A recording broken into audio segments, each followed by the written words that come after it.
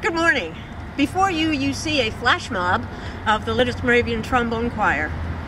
Um, we are happy to be here this morning and we hope you enjoy our presentation of Palm Sunday literature.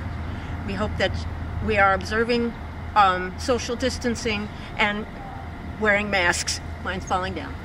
But thank you very much. Have a, have a happy day.